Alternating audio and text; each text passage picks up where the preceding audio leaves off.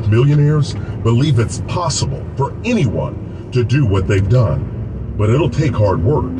If you want to take a step closer to that goal, then take a lesson from the Millionaire Playbook and make these three things a priority this week. Number one, get up early. Don't miss what might be the most productive hours of the day. Turn off the TV, shut down social media, get to bed at a reasonable hour, and set your alarm. Try getting up one hour earlier for a few weeks without cutting your sleep short and see what you can accomplish with that extra hour of productivity. Number two, read a book. Find a book, class, podcast, or online training that can make an immediate impact on how well you do your job. Get up every day with a goal to learn one new thing that you can apply to your work. That'll be 365 improvements per year. Number three, get moving. It blows me away how people will pamper a car but trash their own bodies. Listen, you get one and only one body for your entire life. Your body is a finely tuned machine. So don't fuel it with garbage and leave it parked on the couch all day. You don't have to run a marathon. A simple 20 minute walk after lunch every day can make a huge difference. Just get up and do something. If you attack every day this way, you'll be on the right track. Make sure you hit the ground running every morning, knowing what you want to accomplish and ready to get the job done. Set a precedent for each day. Refuse to be denied. Shut down any obstacles or excuses that come your way. And don't let anyone, I mean anyone, get you sidetracked. Someone may come along and try to outsmart or outperform you, but you can make sure that no one will ever outwork you. Chapter 10 Stick to it. Millionaires are consistent. We are what we repeatedly do. Excellence, then, is not an act, but a habit. That sounds like one of those down home, old school pieces of advice we've heard from many of the millionaires in our study. But it's not. That sentiment is a little older, way older. Author Will Durant summed up 4th century wisdom from the great philosopher Aristotle in that one line, explaining that the secret to excellence is simply doing the same things over and over again. We have a word for that today consistency. Consistency is the key that brings all these millionaire attributes together. You can take responsibility, you can be intentional, you can set goals, and you can work hard. But if you don't do these things repeatedly, year after year, decade after decade, then you'll never get the results you want. Your millionaire goals won't crash and burn, they'll just fizzle and sputter out. It's like taking your foot off the gas while you're driving down the highway. Your car won't blow up, but it will gradually coast to a complete stop. All the progress you've made to that point won't matter because you'll be sitting on the side of the road. You would have lost all your momentum, and once that happens, you may never get it back. Keep your momentum. Too often we act like consistency is a bad thing. We whine about being bored with the same thing all the time. We excuse our stupid decisions because variety is the spice of life. Listen, variety may spice up your social life, but it'll spoil your financial life. It's easy to ignore the powerful force Oh of consistency because it often fades into the background. However, consistency builds momentum, and we like consistency. We like not having to map out and meticulously plan our daily drive to work. We like being around and trusting the same people we've known for 20 years. We like having our paychecks hit our bank accounts like clockwork twice a month. We like being able to count on our coworkers who have proven themselves in the past. You know what we don't like? When things get out of whack. When we expect one thing and get another. When variety pops up and slows down the momentum we've been building. Consistency may feel boring sometimes, but when something's working, why would you want to switch gears? Patience pays off. Millionaires don't change their plan midstream if it's working for them, and they don't stop halfway to the goal. As we saw earlier, our research found that 98% of millionaires finish what they start. They don't leave things undone. That's because becoming a net worth millionaire is more than a thought or hope. It goes beyond simply saying, I'd like to, or I wish I could. If you want to become one of America's millionaires, you've got to commit yourself to the long, hard work of getting there. You've got to commit to it deep, in the very core of your being, and it needs to guide your decisions and actions for the next 10, 20, or 30 years. You need to attack this goal the way that Herb and Joan did, a millionaire couple from South Carolina. Everyday millionaires. Herb and Joan are the picture of consistency, and their early retirement proves it. Herb grew up in a traditional middle class family, and his father was intentional about teaching him how to work and save. As a boy, Herb sold bags of peanuts for a dime, and his dad showed him how to allocate part of his money to savings and part to spending. His dad often said, always give some money to your future. Don't give it all to your present. That simple lesson guided Herb's finances his entire life. Herb earned his business administration degree at the Citadel and then took a job at a large phone company. He stayed with that company for 30 years, which is something we often don't see anymore. During that time, Herb and Joan had a goal of financial independence. They had a clear picture of what life would look like when they weren't dependent on a full-time job for their income. And they talked about that goal often. To get there, they both maxed out their 401k plans and added in some other stock market investments.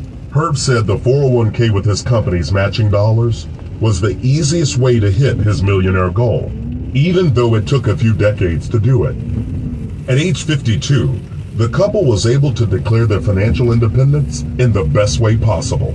After 30 years with the phone company, Herb realized his job wasn't fun anymore.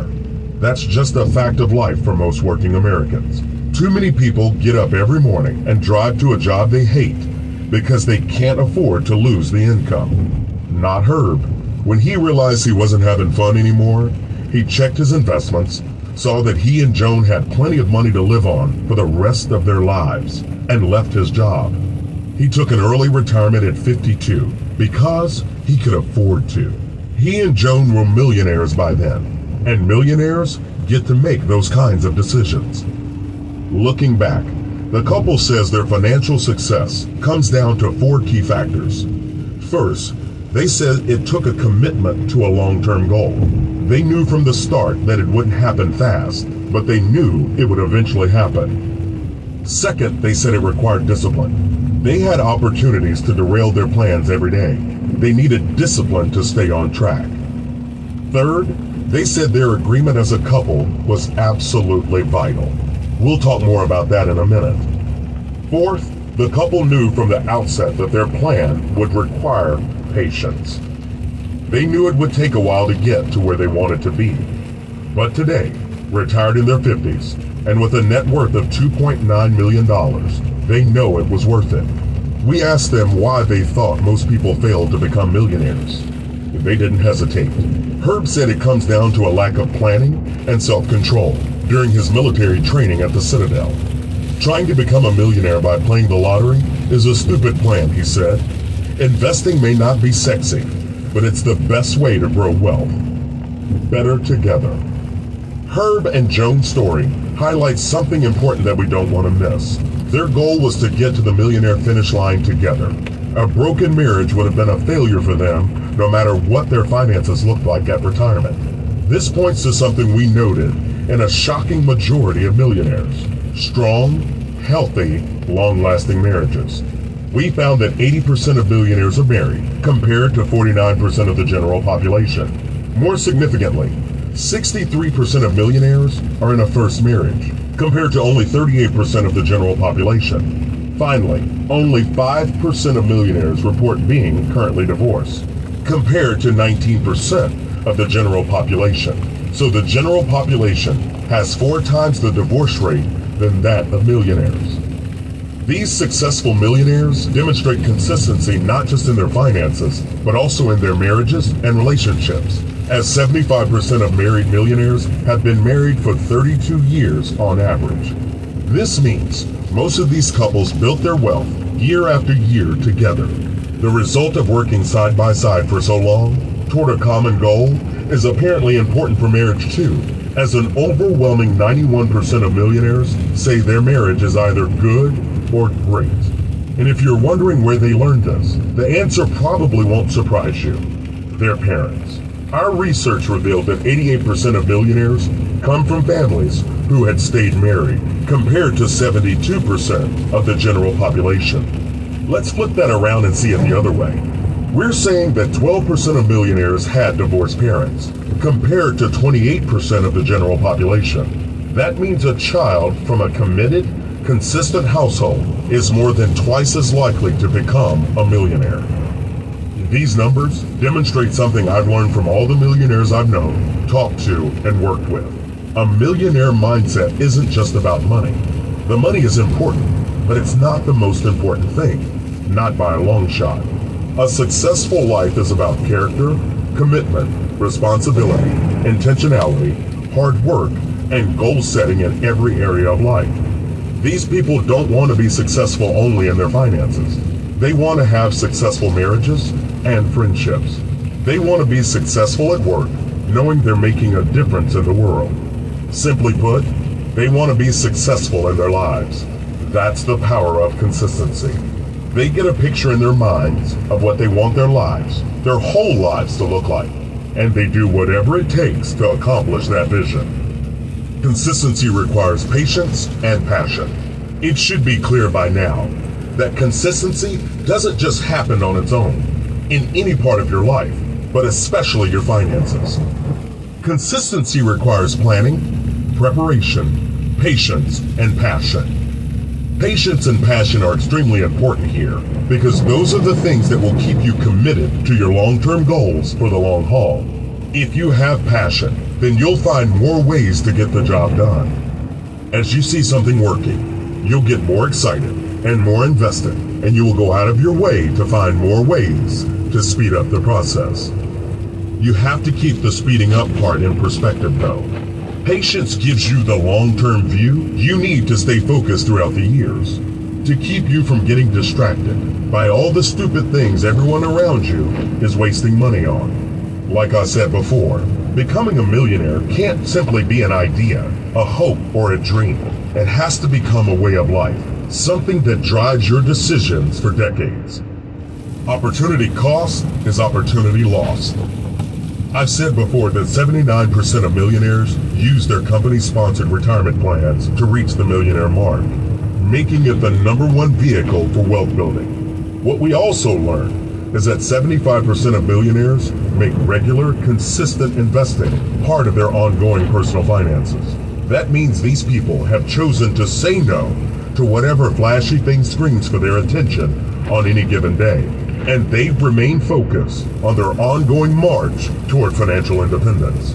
They, like Herb earlier in this chapter, have chosen to give their money to the future instead of giving it all to the present. That's what adults do. They can choose to say no to impulse for the sake of longer term goals. Children do the opposite. Children are slaves to their desire, only focusing on the fun they can have today. We all have that battle raging within we each have an adult and a child inside of us, but we can't let the child make our financial decisions. Kids aren't consistent. They're impulsive. When you throw your investing strategy out of the window just to buy a new car, or to choose to spend this month's investing dollars on a new TV instead, you're acting like a child. And if that goes on too long, you'll hit retirement having only what children have big dreams and empty pockets. Make money while you sleep. You need to approach retirement the way Gary, a retired educator from Iowa, did. Everyday millionaires. Gary and his wife Susan have done an incredible job amassing a net worth far above the $1 million mark. But it didn't happen overnight. Gary grew up dirt poor. His parents were still teenagers when Gary was born, and his father worked several different farm jobs during Gary's early childhood. They eventually moved on to a rental farm when Gary was six years old, and his parents put him to work immediately. By age nine, he was working full time on a farm when he wasn't in school. The family never had any money. They had eggs every day for breakfast and lunch from the chickens on the farm. And Gary even remembers his mother cooking up a pot of weeds from the garden one night when a drought had knocked out all their vegetables. Despite these rough times, the family stuck together and made it work. Even today, Gary looks back on his parents as two of his greatest millionaire influences. He and Susan married at age 19, and Gary attended a local college, a first for his family. Afterward, he took a teaching position, and the couple started a family. Raising kids put a spotlight on his low teaching salary, though. It dawned on him that he couldn't even afford to save up for his children's college education, so he started looking for ways to boost his income. Ultimately, Gary decided to return to school and get a master's degree, which would increase his teacher's pay. If you're going to be there teaching the same number of hours, you might as well get the most money you can per hour. Susan also added to the family income by going to school for an education degree and becoming a teacher herself. In all, Gary spent 20 years teaching, followed by another nine years in school administration. Then, after his retirement, he spent another five years teaching part time at a nearby college. Throughout his and Susan's careers, the couple saved consistently month after month. They lived frugally and weren't afraid to make short term sacrifices for long term gains. Gary believes the main thing that keeps people from becoming millionaires is failing to understand what they could do with just a little bit of sacrifice. In fact, this couple didn't even buy their first home until they had saved up enough to pay cash, something that took a while on their teacher salaries. Over several decades, they took advantage of the available pensions and invested regularly into an IRA. They also set goals throughout their marriage to buy tracts of ranch land as an investment. Their first goal was to purchase 320 acres of grass. When they hit that goal, they set a new one. When they hit that new goal, they did it again, and again, and again. Today, Gary and Susan own 5,400 acres of land in Iowa, which they rent out to farmers. That not only provides a steady stream of passive rental income, but also, along with their other investments, contributes to their incredible $10 million net worth today. Gary set these goals based on these wise words from his father. You'll never get ahead unless you find a way to make money while you're sleeping. Making money while you're asleep is one of the key strategies millionaires use to build wealth. But that only happens when you make a plan and work toward it consistently over time. So let's dig in to better understand how these men and women wake up wealthier than when they went to bed. It starts by understanding compound interest. Understanding compound interest. Albert Einstein is thought to have said compound interest is the eighth wonder of the world. He who understands it earns it. He who doesn't pays it. Compound interest is the most powerful force in the universe. What makes compound interest so unbelievably powerful? time. Investing early and consistently over a long period of time allows you to take advantage of the two most powerful forces in all of finance time and compound interest. When you put money into an investment and let it sit a while, your money grows from the interest you earn. If you put $1,000 in originally, you might have $1,100 a year later. That extra $100 is the result of interest you earned. What happens in the second year? Well, now you aren't earning interest on $1,000. You're earning interest on $1,100. So that money that grew from interest in the first year is now earning interest itself. That's what compounding means. It's when your interest earns interest. Your money is basically creating more money, and it keeps doing that on its own. Morning, noon, and night. The effect that time and compound interest have on your money is mind blowing. Let me put it in perspective for you. What if I offered you a choice? You can have $1 million in cash right now and walk away. Or you can have one penny right now. If you choose the penny, you can come back tomorrow and I'll double it, leaving you with two pennies. Then I'll double it again the next day bringing your grand total to 4 cents after 3 days. Now, I'll keep doubling it every day for a month, 31 days in all. Which of these two choices sounds like the better deal? most people would take the $1 million and run away laughing. Who would choose pennies over a cool million? Here's the thing though, those pennies keep doubling. After a week, you'd have $1.27, which doesn't sound great. After two weeks, you'd be up to $163.83. After three weeks, things would start to get interesting. Your $163.83 would have jumped up to $20,971.51. One week later, at day 28, you'd be up to $2,684,354.55. You're a multi-millionaire. But get this, three days later, at the end of the month, the penny you started with would now be worth $21,474,836.47 you'd have more than $21 million. 21 times what you would have had if you'd chosen the $1 million on day one. The only thing that it cost you was a little time. Sure, this is an exaggerated example. You're not going to find any investment that doubles your money every day forever. However, this illustration does show the unbelievable power of time and compound interest on your money. The point here is that people too often make decisions with a short term view. They're too quick to choose the immediate thrill over the long term goal. Remember, that's what children do. That's the kind of short sighted thinking that will keep you living paycheck to paycheck for the rest of your life.